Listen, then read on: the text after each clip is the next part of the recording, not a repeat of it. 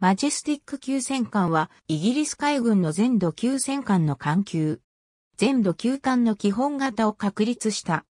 全級の近代戦艦の講師とされるロイヤルサブリン級の露法塔方式、手法などの問題点を改善している。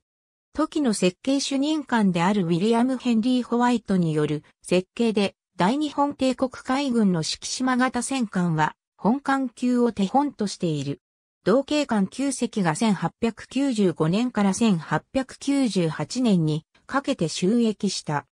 マジェスティック級戦艦、ハーベイニッケル号の採用によって、原則走行の厚さを全級のロイヤルサブリン級の半分とすることができ、その分カバー範囲を中間板の高さまで拡大した。また手法を密閉式の砲塔に収めた。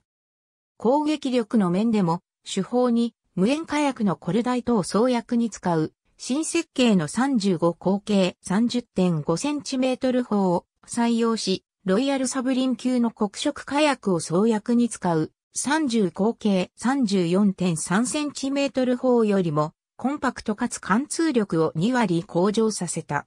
その他、初めて石炭と重油の両方を燃料とする混焼管を採用した。ただし、溶弾頭は固定式であり、球弾時は守備線上に一旦砲塔を戻す必要があった。その方式のため砲塔は用なし型をしている。後期に作られたシーザーとイラストリアスは、バーベットに溶弾頭を内蔵しており次級の可能パス級戦艦と同様である。外見上では、イギリス戦艦として並列した煙突を装備した最後のクラスでもある。本級の次の可能パス級以降は、煙突はすべて中心線上に置かれるようになった。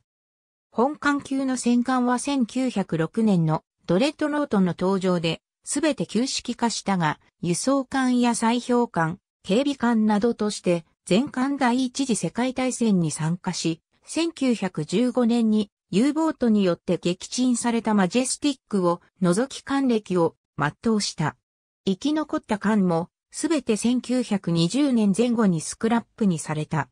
イギリス戦艦で同系戦艦が第一次世界大戦に参加したクラスとしては最古参である。ありがとうございます。